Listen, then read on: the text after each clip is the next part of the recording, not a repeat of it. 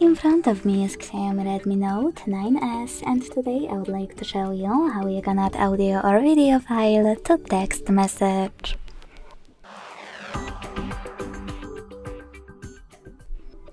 Begin by launching messages and selecting or creating a chat.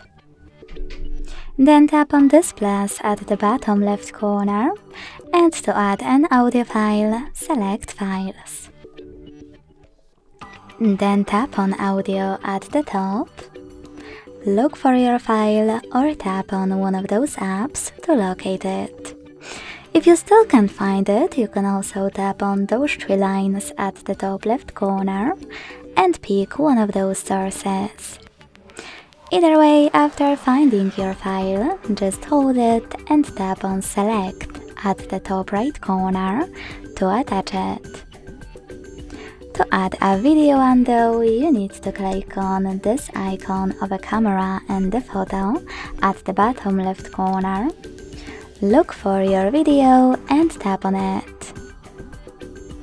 If you can't find it here, select Gallery.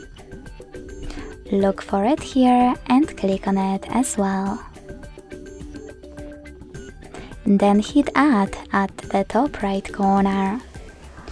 If you still can't find it, click on Gallery, select Folders and look for your video file the same way as an audio one.